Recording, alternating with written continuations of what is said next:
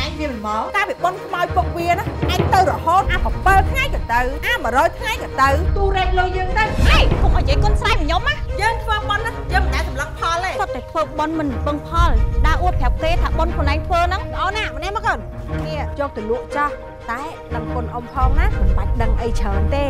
គ្រាន់តែដើរប្រាប់ដាក់ភូមិថាអ៊ំនេះចិត្តល្អ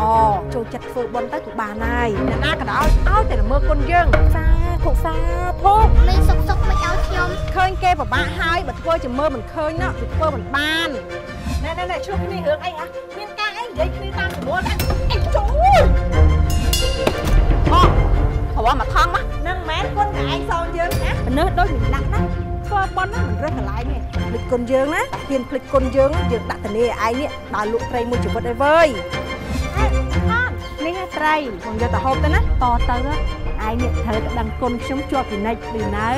ភាពយន្តជីវិតរឿងធ្វើល្អមិនបានបានល្អមានផ្សាយជូនទស្សនានៅថ្ងៃអាទិត្យ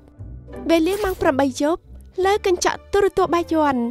និង Facebook YouTube Sastra Film